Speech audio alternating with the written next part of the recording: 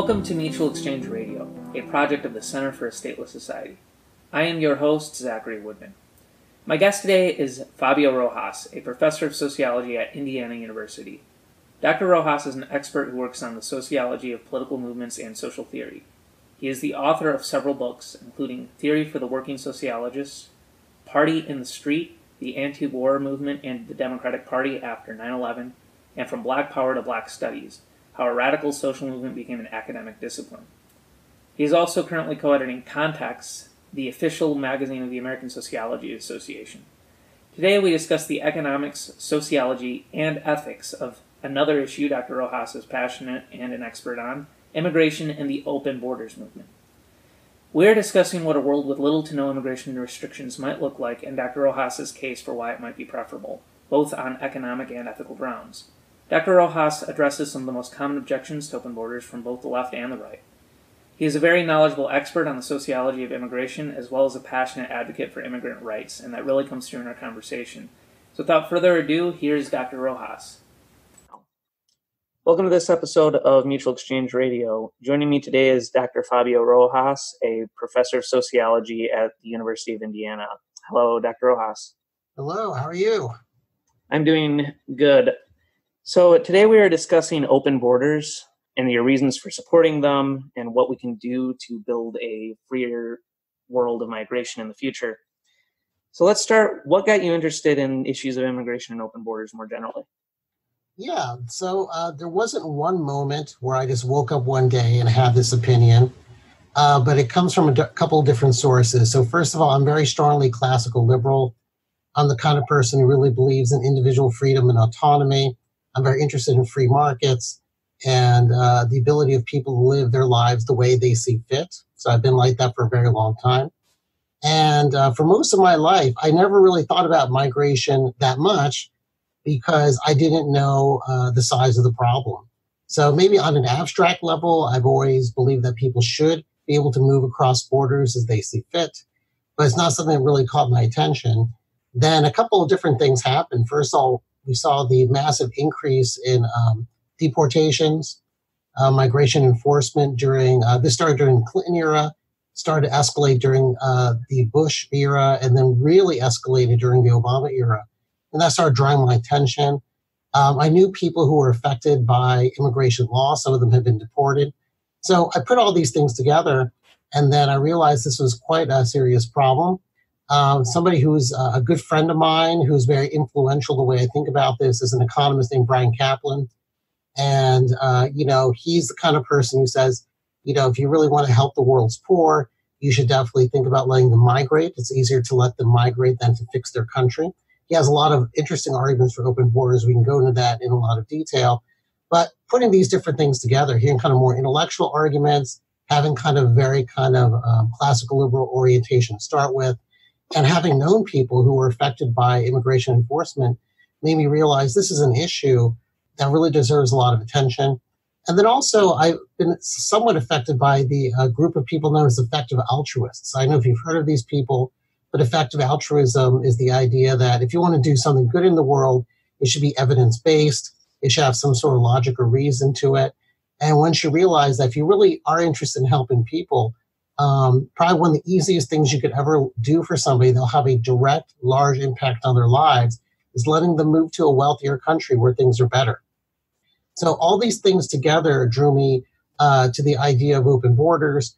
And then the last couple years, I've been very active in publicizing the idea of open borders throughout um, various mechanisms, like, um, for example, um, blogging, tweeting about it, uh, the Open Borders Information website run by Vipul Naik and some other people uh, contributing there, doing television interviews, radio interviews. I've been interviewed a few times in the media about it. Um, last year, we had the first Open Borders Conference in Washington, D.C., that helped organize with a group of people known as the Free Migration Project. That's a nonprofit run by David Bennion uh, and a number of other uh, immigration attorneys. And we're going to be doing it again in New York City this October. So if there are any New York area uh, listeners to your show, if you really want to meet people up close who really care about open borders a great deal, please come to our um, event. So that's kind of what drew me into it. And, uh, you know, And I think it just comes down to the following, which is that if you're if you have strong opinions about individual freedom or liberty the way I do, um, and you were to say what is the one thing people should know about that would really help improve the world, make poor people better, make lives better, uh, immigration liberalization is the way to go. Excellent. So, what is your five minute elevator pitch? Well, maybe not five minutes, maybe a little longer. But what's your what's your short pitch for why open borders is so helpful and such a good idea? Yeah, so I can certainly give you a couple of minutes, and we can dig into it, and you can offer me criticisms. But here's here's how it would go. I'd say, look, you know, every day people cross the border between Indiana and Illinois. They go to work in Chicago. The workday comes to the end, and they go back. And every day people move back and forth, back and forth. Sometimes they move permanently. They may move from Wisconsin into Illinois, from Illinois to Indiana permanently. But this happens every day. Thousands, probably tens of thousands of people move back and forth every day. And it's okay. We know it's totally okay for people to move across political borders, right? And there are a lot of good reasons why. For example, if you need a job, you may need to move. Maybe if your your uh, spouse lives in Chicago and you live in Indianapolis, you might want to move from Indianapolis to Chicago. Um, maybe you simply like Chicago better than Indianapolis. There's a lot of really good reasons why you'd want to move. And every day that happens all the time, and nobody gets upset about it. It's totally okay. So then you have to ask yourself, well, if it's okay for people to move from Oklahoma into Texas or from, you know, Indiana and Illinois, why is it bad for people to move from Mexico to Texas?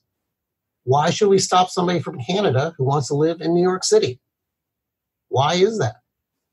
And once you realize that if it's okay for people to move between states within the country, why is it wrong for people to move between countries?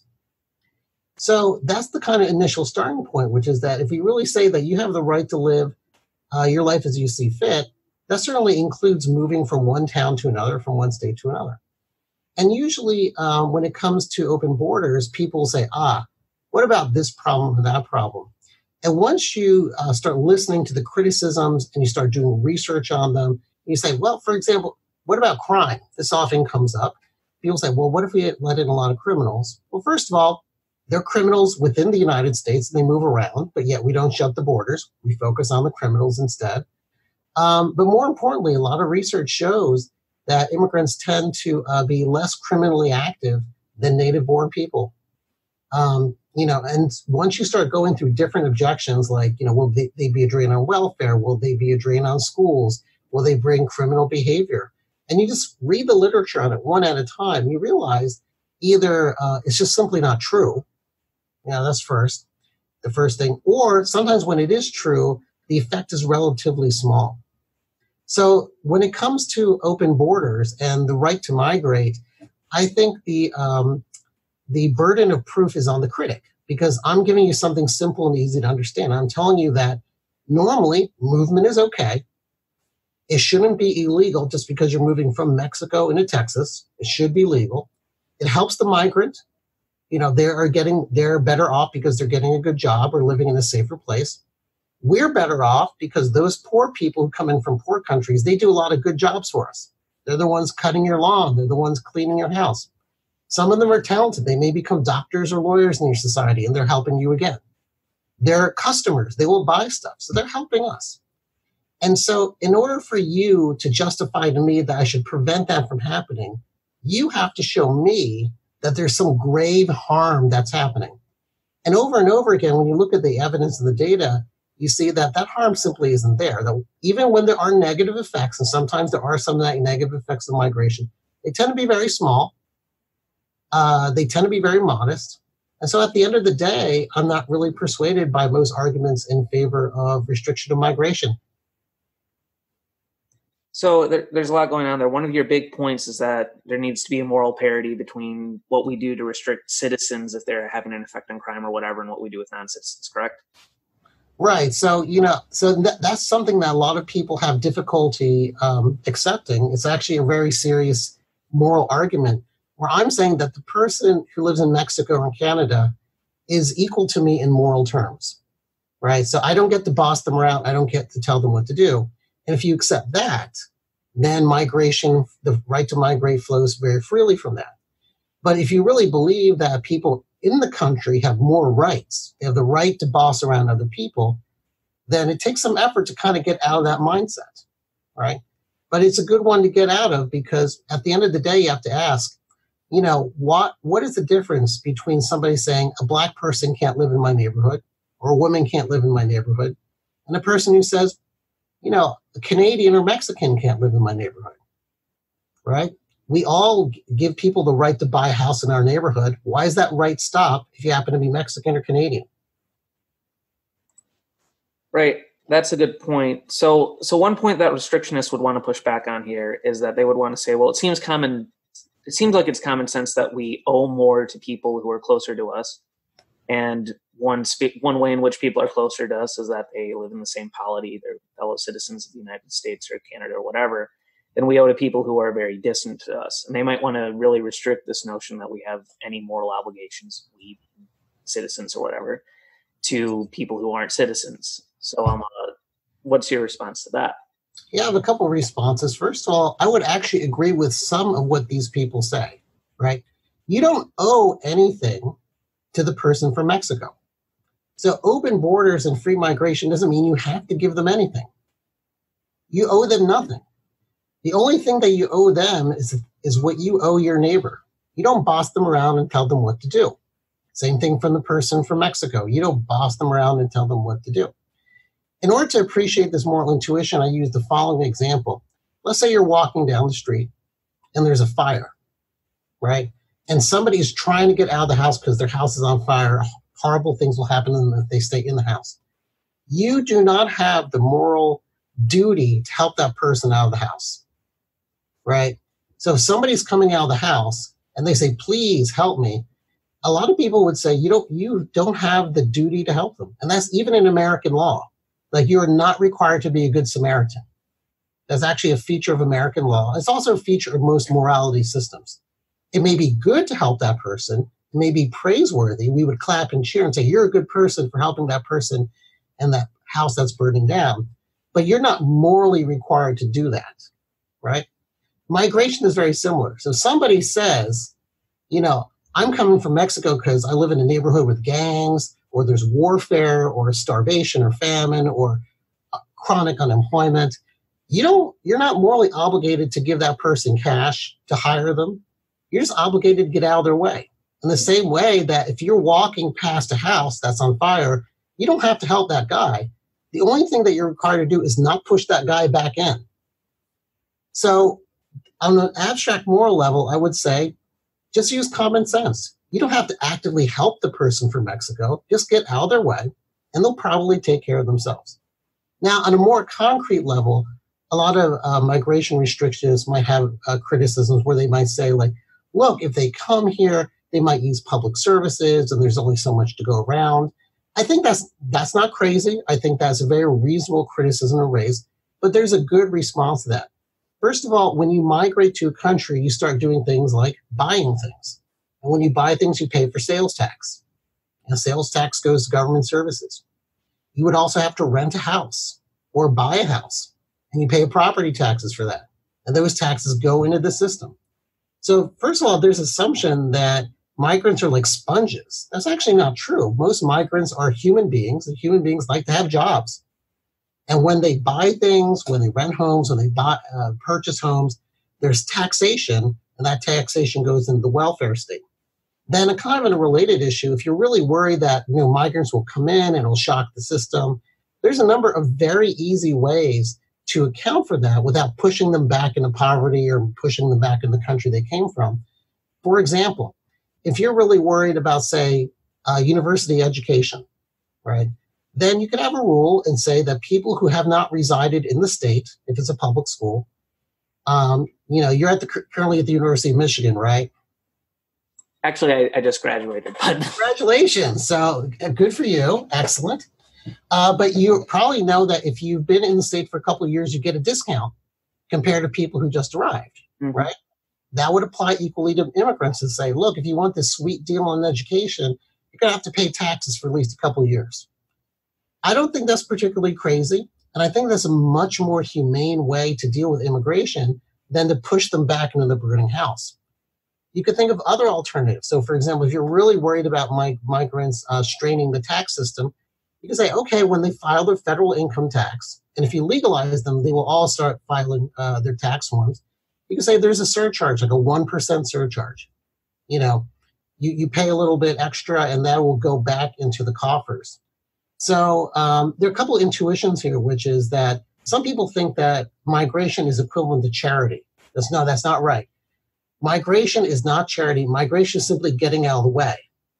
Then, if you're really concerned about public services, then you might, then there are a number of very easy, sensible policies that you could use for migration, such as say, you know, you have to live there for a while before you get the discounted rate, or you know, you might have to pay an extra fee for like a hundred dollars a year, something to help, you know, uh, pay for extra public services. So, in other words, um, I don't think those people are crazy. I think they bring up good questions, but there's also really good answers. Yeah.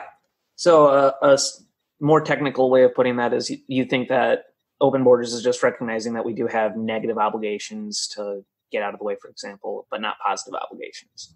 Correct. Yes, that, that, that's that's what a philosopher would say. That's correct. Yeah. I'm going into philosophy master's programs. So. Oh, excellent! Uh, congratulations. That, that's great. Where are you going to? Uh, Western Michigan. Excellent. Anyway, so let's explore some of the economic sides of this. Right.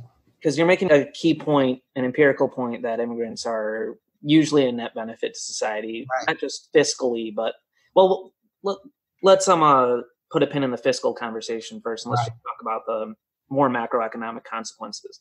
Right. One of the more common uh, responses to open borders is that this will really harm, especially low skilled laborers right. within the United States. You know, guys like is it George Borjas? George Borjas at yeah, Harvard. Borjas at, at, Harvard University. Really keen to raise this point. So, um, uh, what's your usual response to economic based more response to those type of objections about labor markets? Right. So there, there's a number of issues that this raises. Number one, you could set, you could ask the question: If migrants were to come in, would they put people out of jobs? Right. So that's that's the basic question. So under a lot of normal circumstances, I really wouldn't be worried about it because if migration were legal, there would be no sudden influx of migration. Right. So, for example, how many people here worry that uh, Indiana, which shares a border with Michigan, how many people will worry that millions of Hoosiers will move into Michigan and put out put all the people in Michigan out of out, out of work? And Michigan is a wealthier state than Indiana. It's a much more industrialized place. So if we were really worried about it, we put a giant wall between Michigan and Indiana, but we don't. And why? The reason is under normal economic cir- circumstances, the trickle and flow of workers between these two states is really not that big. Um, but you know, there are cases where there will be a sudden influx, and you can study them. And you mentioned George Borjas, and I'm glad you brought it up because there are two responses to George Borjas. Some people have argued that he made a mistake in his empirical analysis, and we'll get back to that in a second. But let's assume that he didn't, right? And George Borjas is a very meticulous economist. He's actually very well respected within the field of labor economics. So there's very little reason to believe like he would do bad research. In fact, the opposite is true. So what does he do? He says, let's look at the Mariel boat lift. That's when a whole bunch of immigrants from Cuba all of a sudden came over to Miami. And so this creates a great natural experiment. You can say, what's the effect on unemployment and wages on Florida workers when all these Cubans come in literally overnight? So for, for the listeners who may not know about this, in 1980, uh, the Cuban government uh, essentially deported tens of thousands of people in a day. They just shipped all these people over to Florida and kicked them out of Cuba. Now, from an economist perspective or a social science perspective, this is interesting because it creates a nice experiment, right? You could say there's a labor market, this completely random shock happens, and then for a short while, Miami has all these immigrants that other cities didn't have before, right? So it's a great natural experiment. What do people find? Or what did George Borjas find? Well, if you read the paper, you find out the following immigration does not affect the wages or the employment of most workers.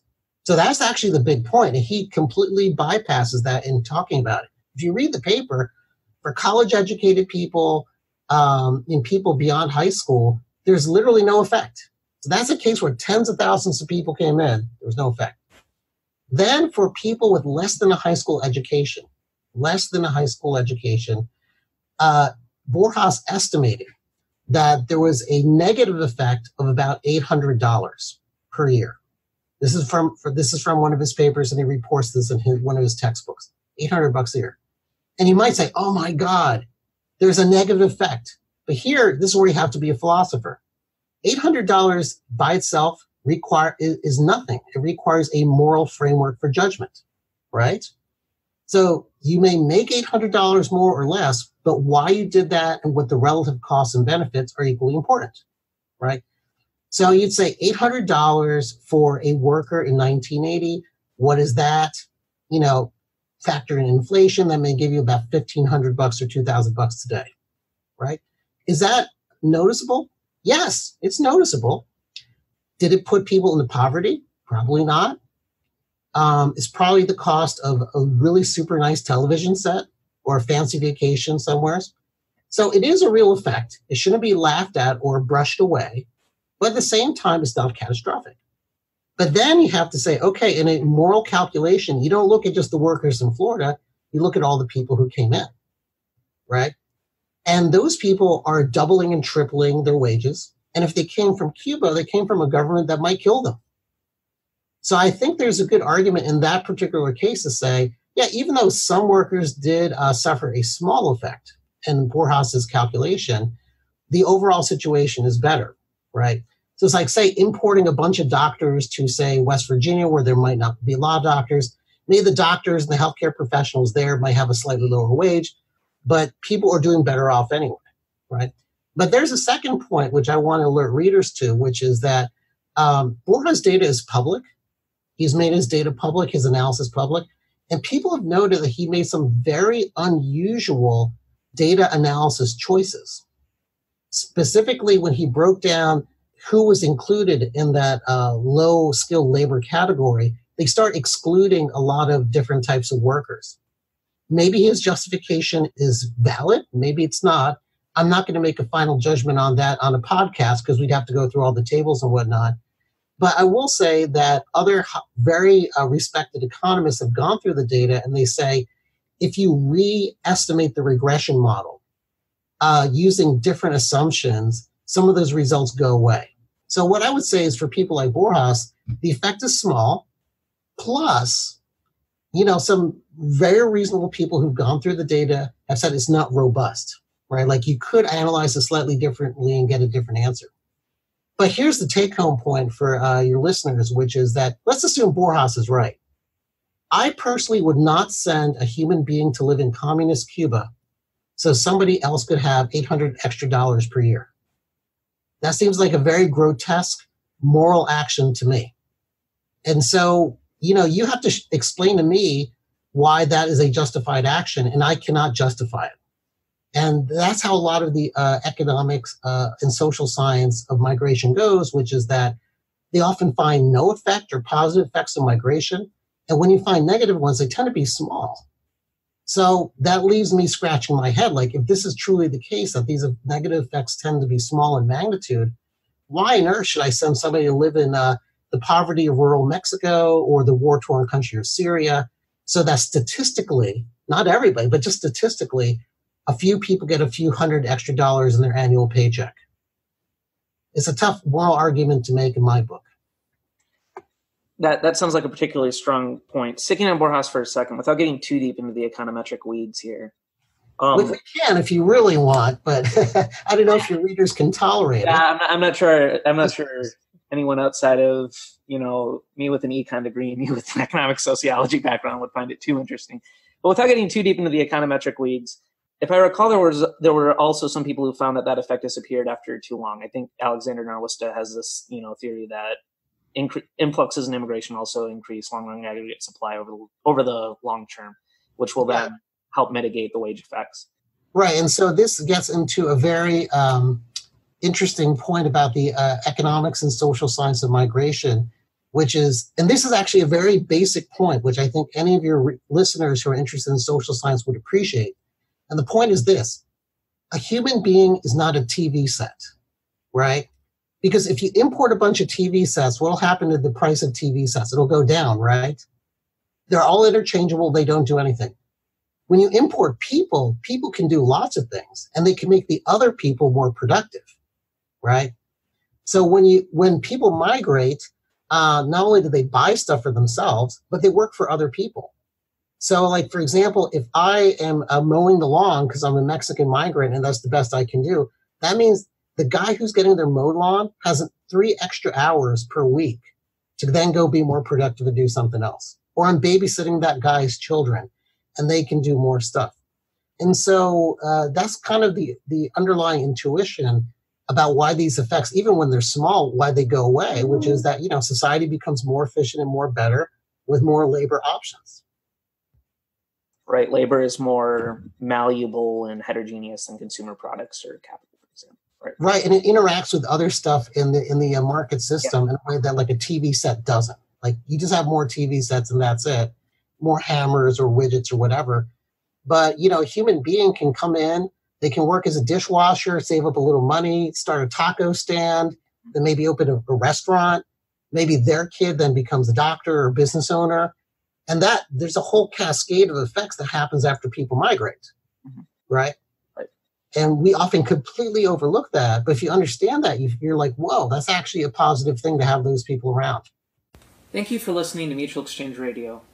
I just wanted to take a minute to put a quick plug in for the center and all the great works that our writers and scholars do at C4SS. We have a ton of informative studies, articles, and essays and books about market anarchism from our scholars and authors at c4ss.org. For example, you can go to the C4SS store at store.c4ss.org and find two recent books we released, including a print edition of our mutual exchange on anti fascist praxis called Fighting Fascism an Anatomy of Escape, an anthology on the rise of the Commons featuring the writings of two past MER guests, Kevin Carson and Gary Chartier, as well as other center scholars. You can buy those at store.c4ss.org. We also have a lot of interesting articles coming out regularly on current events, ranging from the rise of alternatives to meat, to an anarchist analysis of Game of Thrones, to the recent phenomena of throwing milkshakes at far right politicians. You can check all that and more out at c4ss.org. This project and all of the center's work would not be possible without the help of our donors and supporters. In particular, Mutual Exchange Radio is supported by our Patreon. And if you like the show, you can help us by pledging a monthly gift at patreon.com slash c4ss.org. That's C4SS-D-O-T-O-R-G.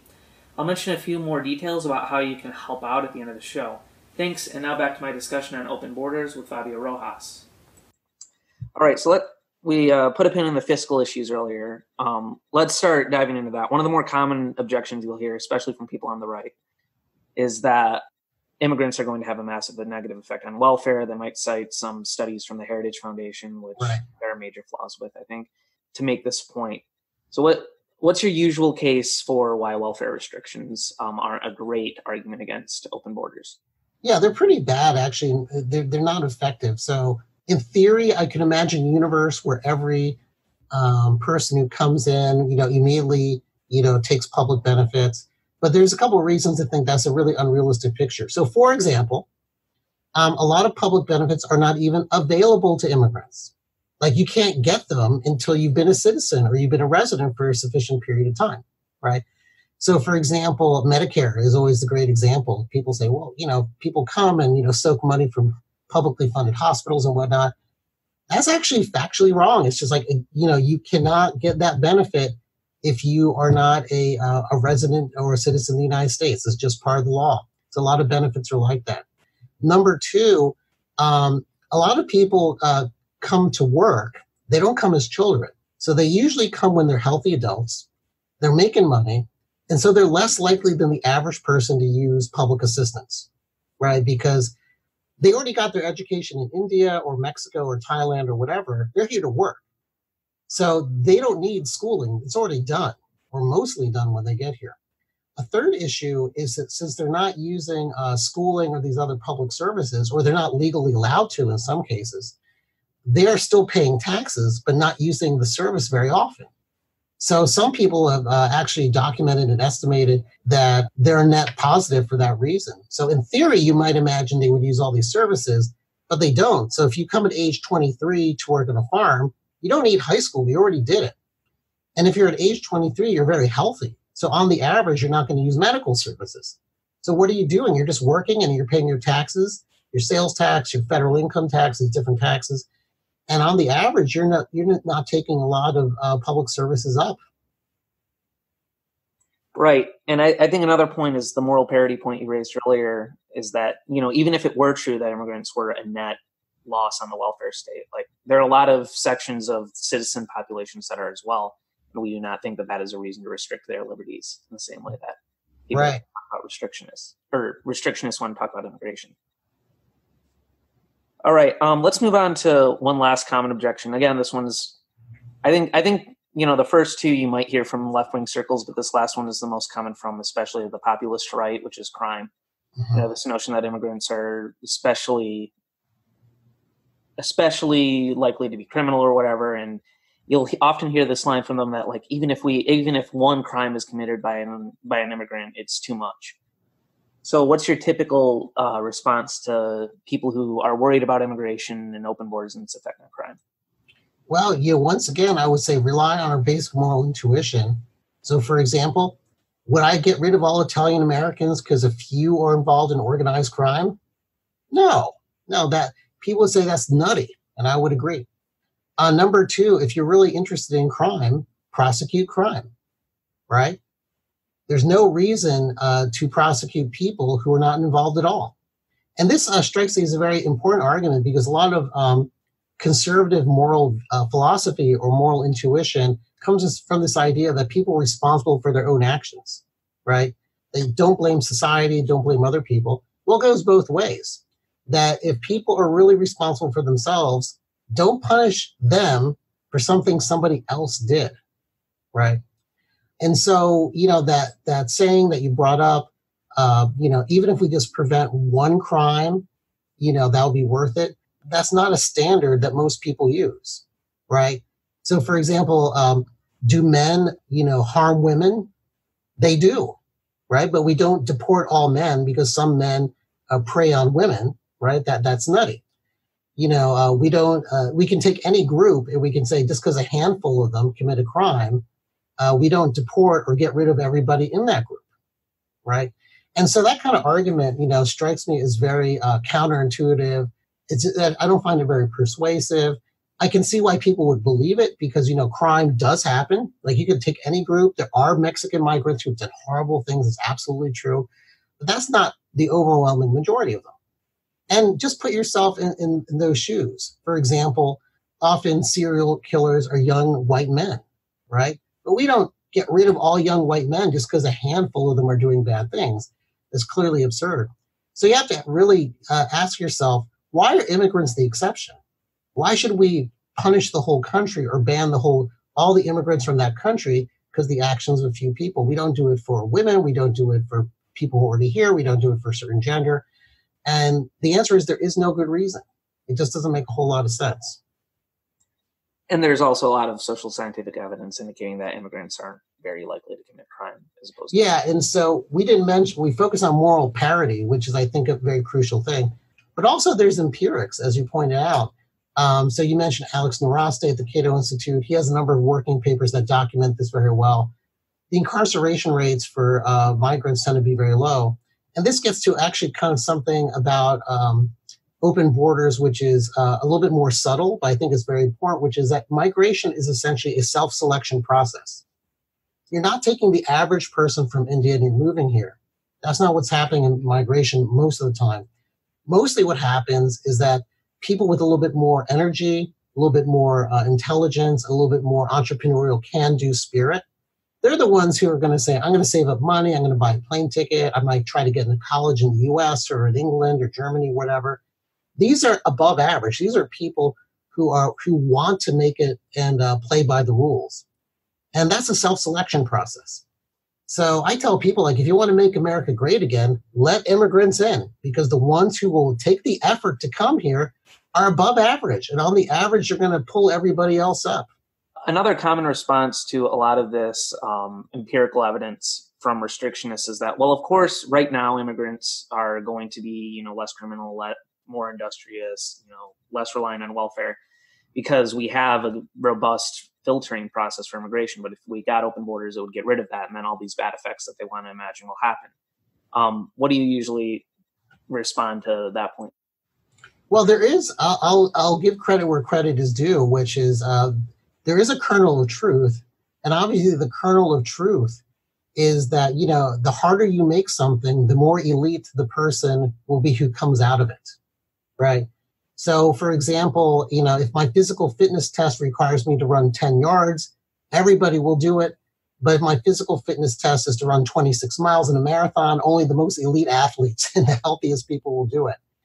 Um, but still, even in a, in a situation of open borders, uh, think about how difficult it is to move from to move from one neighborhood to another. Just think about that. So start with the basic thing that you do every day. Think about moving from one neighborhood, uh, say from Bloomington up to Ann Arbor, right? That by itself you know, is a great screen. That by itself requires a lot of time and effort. You know, I've actually done it myself. I was a postdoctoral fellow at Ann Arbor for a couple years. And so, you know, I have to save up some money to pay, you know, for a down payment for a house or for an apartment. Um, then you have to get you have to get movers. You have to understand how things work. It's unless you know it's like a, a war torn refugee kind of a situation. You know, most migration will select out for people who have, who have their act together because people who are really not together are not going to be able to save up the money. They're not going to be able to learn a new language. They're not going to say, yeah, I'm going to go to a new country, learn their ways, and start a business and become a productive member of society. Those things are actually uh, rare skills, and migration filters out for the people who tend to have that. Yeah, I. So your point is that even if you get rid of legal restrictions, it's not as if moving halfway across the world is suddenly costless. Right. We don't. So, in other words, maybe if you lived in Star Trek and they could push a button and randomly move people around, you might have a point. But in the real world, Mike, even moving across the street, like if you bought a house in the same neighborhood and you have to move down the street, that requires a lot of effort, right? And so it'll continue to be like that for the foreseeable future. All right, let let us talk about well, one last objection uh, before before we move on to another topic related to this. Another common canard you'll hear from restrictionists is, well, I'm only opposed to legal immigration, not legal immigration. What right. And so my response is, well, let's legalize it. If you really think you know, it should be legal, let's legalize it. And, you know, you should just ask people, like, you know, just ask them a concrete number to say, you know, how many people should be allowed in, right? Or it's just simply ask, you know, can we just add 10% to what we have already? And if they're really truly concerned about people breaking the law and they recognize the law is broken to start with, I think a humane person would say, okay, maybe I'm not going to take the jump to go to open borders. Maybe that's a little bit radical, but I'm willing to meet you part of the way. So if they say, yeah, maybe you could increase migration, you know, 10 or 15% or something, then that shows me that they're really concerned about uh, the well being of other people, right? But if you even say, given our relatively low, we only accept something like 700,000 people from around the world per year. So out 7 billion, you know, we basically uh, authorize migration for less than 1%, right? Of the entire global population. I'm making sure I'm counting my zeros. No, it's much less than 1%, right? But anyway, but it's a very small fraction of the world's population that we authorize for immigration each year. And that's not 700,000 from one country. That's 700,000 spread across the world. So if you're in a country with low uh, low demand for migration, like say a Luxembourg, you're not going to use your quota. A lot of people from Mexico, they're not going to be able to come. And so, you know, given the relatively low level of migration, if you say you say, you know, not that many people can legally migrate as it is, could you increase that? Could you make it a little bit easier? Um, so, for example, you know, I'll even ask, what about dreamers? Right? They've already shown that they're productive members of society. They've already shown that you know they're they're playing by the rules. They were brought here by their parents. There's no fault their own. If that person cannot even um, meet you halfway on something as simple as that, that indicates to me that they're truly not interested in uh, the illegality issue. They're really kind of have some sort of personal issue with people from other countries. Um, but if they say, okay, we can legalize that because that's not even migration anymore. If you if you're just saying there's a group of a couple hundred thousand people or a million people, and you're uh, legalizing them, and they've already been here, that's not really migration or even open borders in the way that you and I have been discussing it. So if they can't even meet you halfway on that, that suggests to me they're not really interested in good law and productive law. They just kind of want to set up one barrier against the other. The other example I might use is uh, refugees and asylum applicants. You know, where uh, these are people who maybe don't want to migrate, but the only reason they're here is because their house is on fire. And if you can't even, you know, legalize or facilitate their entry in some way, that shows me that uh, the well-being of other people is not really high on your priority list. And we could have a discussion about that.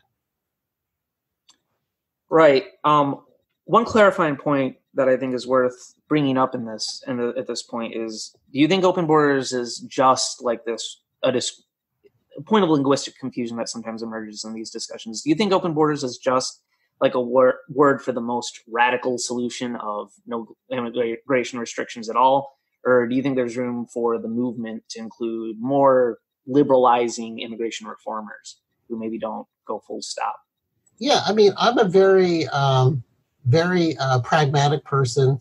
I openly recognize that uh, what I'm proposing is radical. Like my my own personal opinion about what a good and sensible policy is very extreme compared to the average American, right? But at the same time, you know, I'm a believer in working with other people.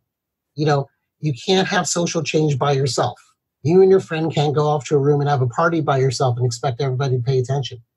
But instead, you should really think about where are some constructive ways you can engage people who don't completely buy what you say or people who are of good heart but you know they're just on the other side of this issue and so what I would say is, you know, open borders, it doesn't have to be like a doctrine. Uh, maybe it's a motto. So, you know, borrowing from uh, President Clinton, I want to make uh, migration safe, legal, and common. You know, so just that's it. You know, we could argue, we could quibble about it, but if it's safe, legal, and easy to do, that's what we're talking about. So if some people say, I want to talk about dreamers, like, great. Or if you're a business person and you want to facilitate more high skilled workers to your job or more low skilled workers to your business, we could talk about that too. Uh, I'm interested in anything that moves the needle in my direction. So, another objection that comes to mind when we're discussing more liberal immigration reformers who maybe don't go full open borders. I think this is a point raised by you know Ezra Klein, and uh, I once attended a talk at Michigan State with Mike Huemer where there was a political scientist pushing this point is that look, given the political reality of the United States today, having open borders would issue in such demographic change that there might be a backlash by nativists that would be destabilizing to political institutions. And they think that this is a very, very good reason to be hesitant about mass levels of immigration. They might say, like, look, just demographic change among the composition of US citizens has caused this, you know, populist right wing backlash. Do we really want you know open borders to accelerate that? Yeah I, i've heard that and one, as you you might not be surprised i'm not persuaded. And there are a couple of reasons to not be persuaded. First of all on a moral level you shouldn't be persuaded because once you realize that there's uh, no moral reason to um, to push people back into mexico or syria or india that you know discriminating against them is no different than discriminating against blacks or jews or women um, then you quickly realize don't give in to bullies. You know, if you give in to bullies one at one point, they're gonna they're gonna ask for more, right? So you know, uh, maybe you know when we did immigration reform in the 1960s, it kind of opened it up, where we kind of gave the restrictionists some tools, and they slowly ratcheted down little by little, increased the deportations, increased the visa requirements, increased all this stuff little by little over time. So um, I would argue to the reverse that once you give them an inch, they'll take a mile. Um, and uh, definitely, uh, in terms of my own ethical perspective, I see myself as an abolitionist. You know, like this is a fundamentally rotten system. Uh, there's no way to uh, get around that fact. It's a system that keeps people in poverty. It's a people system that puts people in danger. And then also, I would say historically, from the beginning of the American Revolution, when this country got started, up until the uh, 1920s, when we essentially closed the door, I don't remember any political upheaval around immigration. People complained, right? So there's a lot of complaint, a lot of anti-immigrant politics. That we had for sure in large amounts. But it's not like we had a civil war over immigration. It's not like the federal government collapsed because of immigration. In fact, you know, basically we just saw a lot of grumbling. And these concerns, people bring this up about the destabilization. Basically, when I read the evidence, I hear a lot of complaining, but I don't see a lot of destabilization. Like, I, I didn't see Washington go up in flames when all those Russians and Jews came in the 1800s. I didn't see New York collapse in the ocean because Italian Americans came over. California's had millions of Mexican immigrants, and it's still going doing fine, right? So when I hear those stories, I'm uh, first of all on a moral level, I, I, don't really buy them because I don't believe in giving in to bullies. But second of all, uh, historically, when we look at the U.S. and other places, it's very rare that you look at the history book and say, "Man, that disaster could have been World War One, the Civil War, the Great Depression. That all could have been avoided if we just prevented Irish people from coming to our country." Like nobody ever reads a history book like that, right? So even though in theory I could imagine some big backlash, basically uh, my reading of the evidence is that you see a lot of cultural talkback and uh, no real crisis. It's just in people's imaginations for the most part.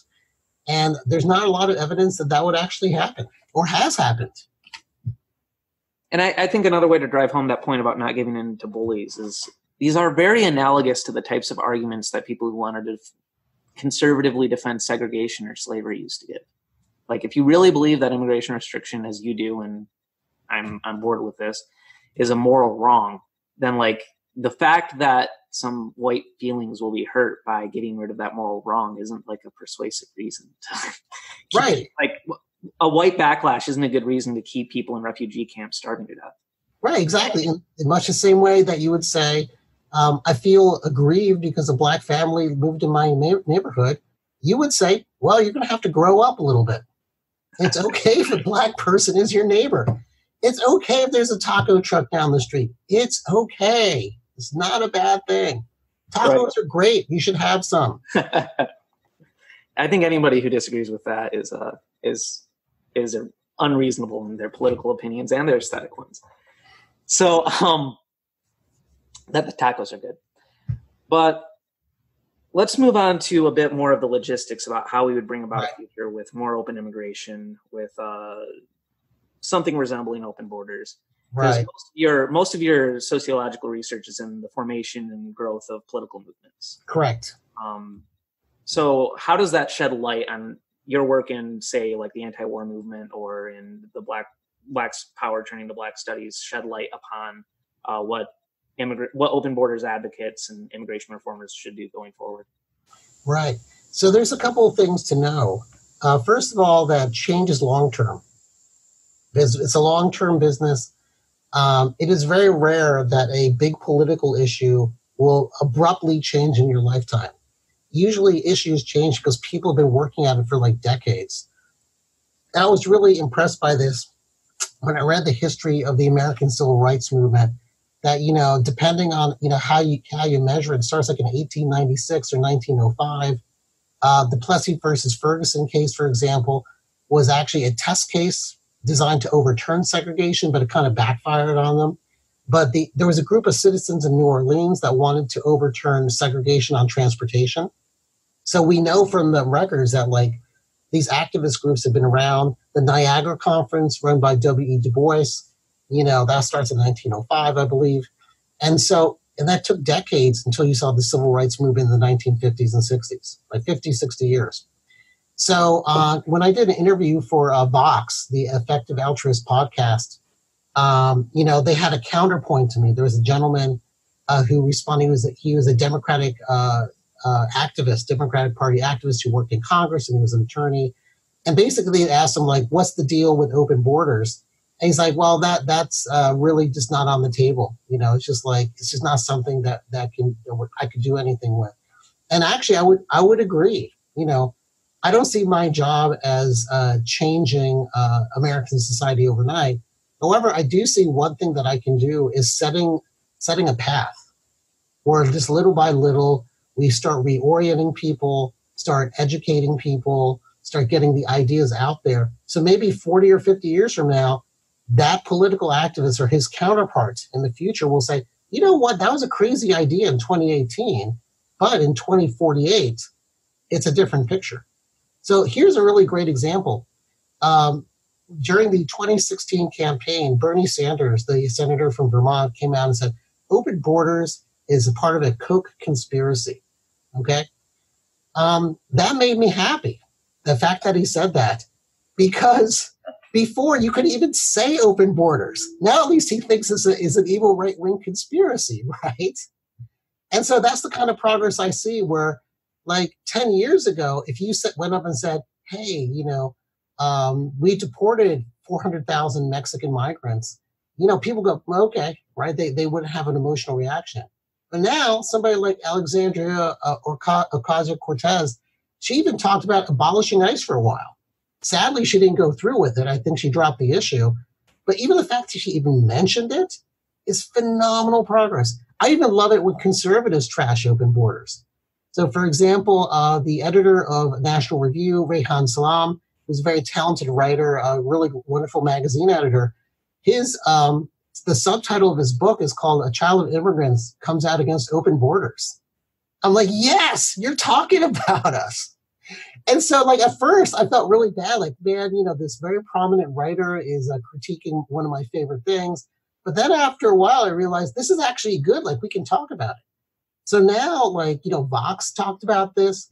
And the other day, uh, I started collecting articles. Hmm? Zack Beauchamp Vox is, I think, even a supporter of open borders. Yeah, exactly, exactly. So it was on Vox.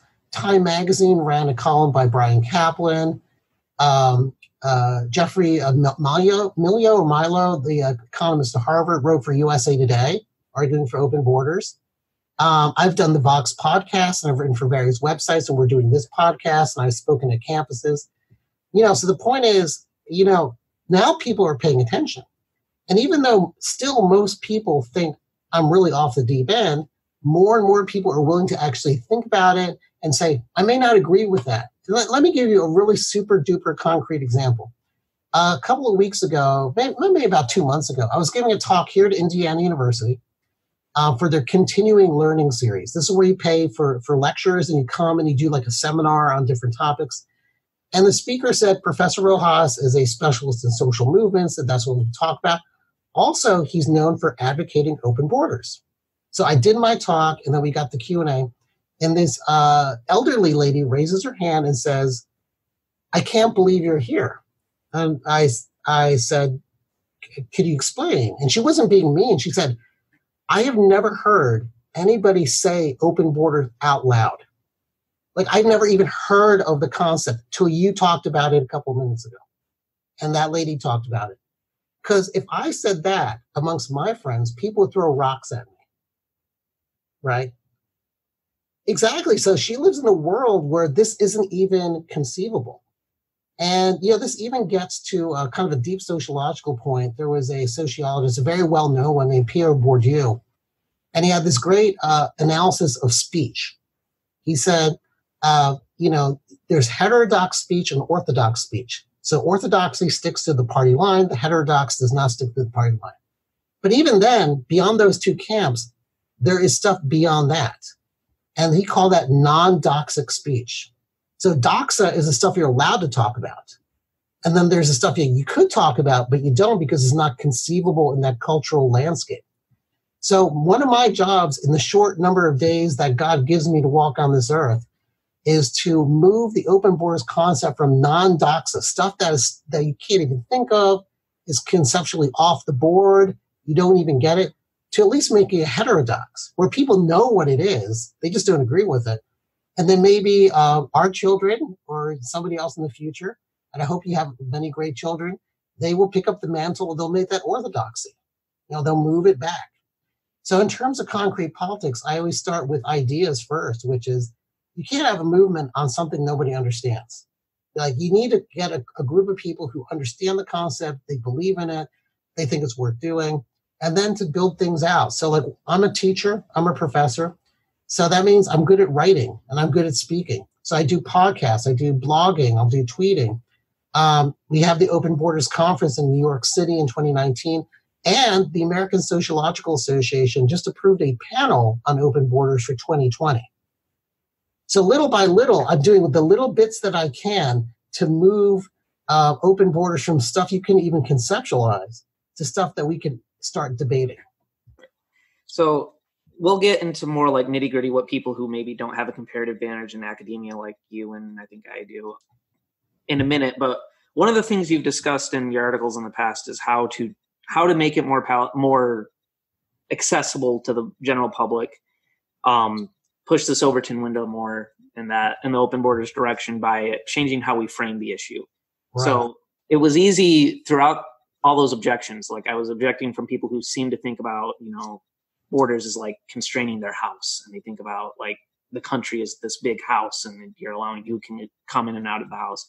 So what's an alternative way of framing open borders? You think uh, that is less appealing on that intuitive level yeah. or more appealing on that intuitive level. Right. right. So that's why when I do uh, public speaking, I start out with intuitions. You know, so for example, there's a reason that when we started this conversation, I talked about the border between Chicago and Indiana, right? Like it's already there. People move between it all the time, and we're okay with it, right? So rather than attacking you and saying, look, you're wrong, or to give you a very sophisticated argument, I just start with a very simple intuition. I say, you know, look, there are a lot of borders that are very important borders, right? And they matter, yet people can move across them. Um, another thing I start with is I would say, you know, just as it would be wrong to uh, tell a black person they can't move into your neighborhood, it's wrong to say that a person from another country can't move into your neighborhood. And even though they may not completely agree with that, at least it's something they can get into. Um, you could also tell them that immigrants are people who buy stuff. So they could go to your business, right? They could be working at your gas station, right? And that's a good thing. We need people to do that. So, in terms of people, uh, whether it be an academic such as yourself or myself, or if you're just a regular person uh, talking about public issues, always start out with basic intuitions that people can understand because that that matters the most right? Most people will not be persuaded by an econometric argument or dissection of what george borjas wrote in you know, the journal of labor economics or something like that. Um, that's valuable it's an important part of knowledge but that's just not the way most people work. Instead most people need a basic intuition right? And so when you look through the history of abolitionism or the history of different movements the ones that are successful are the ones that think really, really carefully about what their basic metaphor is or their basic intuition is, right? Um, and then these more sophisticated arguments come later. So that's those are things I would start up with, like look at borders that are already open, right? Um, look at uh, all the ways immigrants can help you, which are very easy to explain, right? And start from there. And those are good places to start. All right. And what are things that more on the ground people can do who maybe aren't engaged in this battle of ideas, uh, whether it be political action or direct action and stuff like that? Right. Exactly. So there's there's a number of things that people can do. Um, you know, once again, you're not obliged to do this. If you don't want to do it, that's okay. Everybody has the uh, their life to lead as they see fit. But if you're really interested in activism, there's a number of things you could do. For example, there's a sanctuary movement. And the sanctuary movement is all about taking people who are in the crosshairs of the immigration system and give them give them a safe space. Sometimes, usually not always, but they're often religious spaces. Like the police will respect religious spaces. So maybe if you belong to a church, you could volunteer, maybe cook that person a meal, right? Maybe if you are, um, you know, a public service provider, like a doctor or a teacher or something, you could help out these immigrants who are in sanctuary because when you're in sanctuary, you're very vulnerable because you can't leave. That means you don't have a job, you don't have money, and you need people to help you. Um, so that's like something simple that like like your everyday person can do, like cook a meal for somebody in sanctuary or take their kid to school. Like if you're the adult, your kid may be a U.S. citizen, but you may be uh, under threat of deportation. You know, help out with their kids. Donate money to the church that supports them. Donate to the lawyer that's doing pro bono work to help them uh, not get deported, right? So that's like a very simple thing you could do. Um, publicity is always a good thing, right? So one thing I do, for example, is a Facebook group called the Open Borders Action Group.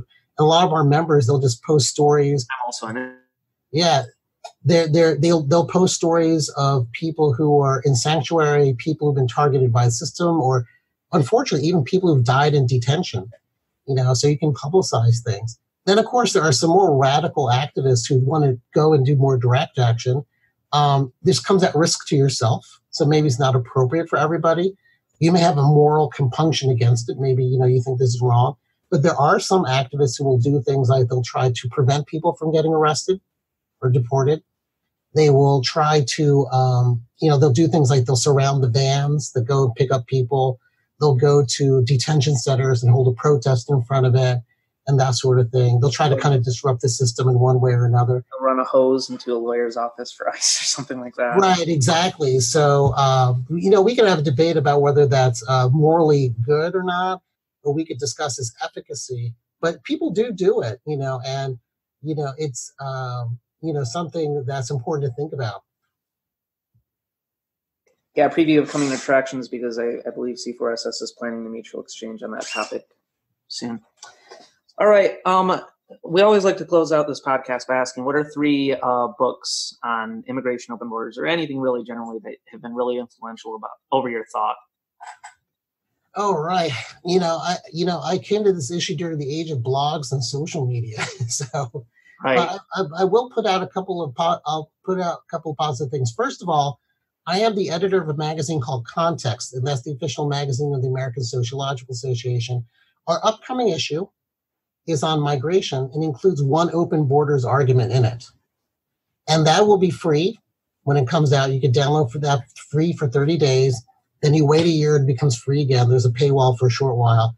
But the point is, um, we asked um, Jonathan Portes, the economist at King's College in London, to write an article about the economics of migration. He wrote a very wonderful article. And at the end of it, he says, if you look at all the benefits and the limited uh, negative externalities of migration. Should we move towards open borders? He actually raises that question. Um, and then a number of the other articles are written by sociologists who talk about the damaging effects of migration enforcement. So even though it hasn't been influential on me because I was the editor who put it together, these are really excellent scholars um, really talking about, you know, it's not just about immigrant rights, but blowing open the whole system. Could we roll this back in some way? Number two, Bryan Caplan, uh, the economist, he's a great friend of mine, and Zach Weinersmith, who is a comic uh, book illustrator and artist who writes something called Saturday Morning Breakfast Cereal. They are co writing a graphic novel called Open Border The Science and Ethics of Immigration, which is as full, it's wonderful. I've seen parts of it. Uh, Bryan gave a presentation um, about it at the first Open Borders conference last year in October. So that book is really uh, going to come out and it's going to be fabulous. Um, there are other authors who've written books uh, on migration, such as Jason Brennan, the, the uh, philosopher of Georgetown. Um, in defense of openness, I believe. Yeah, defense of openness. There is the, um, oh gosh, the philosopher in Canada who defended open borders in a number of early articles. God, what is his name? This will come to me later. Let's see, uh, Ilya Somin at George Mason, Alex Nowrasteh at the Cato Institute. So, you know, there are a number of people uh, writing about this in uh, various ways. And so uh, I would recommend all those resources. There's also a website called openborders.info, which I've contributed to a little bit. It's kind of a, kind of in a dormant state right now, but you go through the archives and read all the arguments about open borders. So there's a lot of good stuff that you can get into, and it's just going to get better over time. All right. Well, uh, thank you for coming on the podcast today. Uh, this was a great discussion, and I hope to see more from you on this topic in the future. Oh, my pleasure. Thank you for taking the time to listen to this episode of Mutual Exchange Radio. I'd like to thank Dr. Rojas again for a really fascinating and in depth discussion of open borders. I hope you found it as interesting as I did. Until next time, you can find us at patreon.com slash c4ss.org. That's C4SS-D-O-T-O-R-G. From there, you can support this podcast and other C4SS projects by making a monthly pledge of $5 or more. Plus, we've extended the opportunity to be listed as an associate producer on the show. Anyone who pledges $10 or more before June 15th will get a shout out on the credits of episode 6 and those who pledge $20 or more will gain access to additional content from our guests and scholars.